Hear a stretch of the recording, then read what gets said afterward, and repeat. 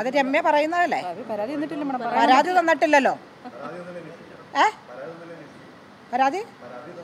രമ്യയെ പോലെ ഒരാൾ തീർച്ചയായിട്ടും പരാതി തരാം. ഞങ്ങൾ പരാതി എടുത്തിട്ടുണ്ട് ഞങ്ങൾ ആ പറയട്ടേന്ന്.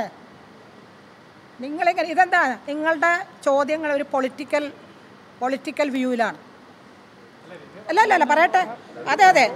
ഇതിൽ ഇതിൽ നിങ്ങൾ കാണുന്നത് കക്ഷി രാഷ്ട്രീയത്തിന്റെ കണ്ണിലൂടെയാണ്. ആ പറയട്ടെ ഇത്രയും കാലം രമ്യൊന്നും ഉണ്ടല്ല തെരഞ്ഞെടുപ്പ് കഴിഞ്ഞ് റിസൾട്ട് വന്നു കഴിഞ്ഞപ്പോൾ അത് അതിന്റെ അധ്യായം തുറക്കുകയാണ്. അതൊരു നല്ല രീതിയാണ്. അതൊരു ശരിയല്ല. പിന്നെ എല്ലാം ഇങ്ങനെ ഞങ്ങൾക്ക് ചിലപ്പോൾ നൂറ് ശതമാനത്തിലേക്ക് എത്താൻ കഴിഞ്ഞെന്ന് വരില്ല?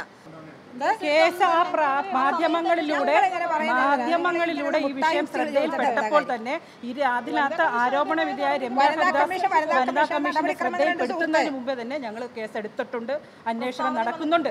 അതുകൊണ്ട് തന്നെയാണ് തെരഞ്ഞെടുപ്പ് പ്രചരണ വേളയിൽ തന്നെ ഇത് ഇത് ഈ വിഷയവുമായി ബന്ധപ്പെട്ട് വിജ വിജയരാഘവൻ എന്ന് പറയുന്ന വ്യക്തിക്ക് ജാഗ്രത കുറവുണ്ടായി എന്ന് വനിതാ കമ്മീഷൻ അധ്യക്ഷ. മാധ്യമങ്ങളോട് പറഞ്ഞു.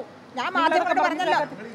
അല്ല നിങ്ങളെ അല്ല. അല്ല രമ്യക്ക് ഒരു പക്ഷേ രാഷ്ട്രീയപരമായി ഇതിൽ ക്ലോസ് ചെയ്യാം. രമ്യയുടെ പ്രശ്നം ഇല്ല.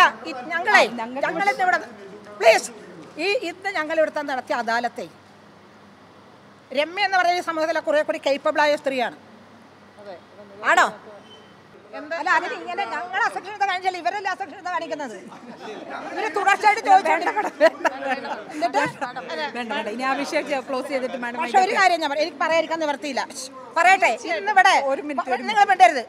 ഇന്നിവിടെ കൈകാര്യം ചെയ്യുന്ന സ്ത്രീകളുടെ ഈ ഇടുക്കി എന്ത് പ്രശ്നം?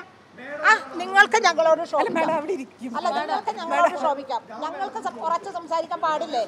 അല്ല ഞങ്ങൾ കുറച്ച് സംസാരിക്കാൻ പാടില്ലേ? അല്ല പാടില്ലെന്നാണെങ്കിൽ ഞങ്ങൾ അത് അനുസരിക്കാൻ പോകുന്നില്ല. ഇല്ല ഞങ്ങൾ അനുസരിക്കാൻ പോകുന്നില്ല. ഞങ്ങൾ പറയേണ്ടത് പറയും.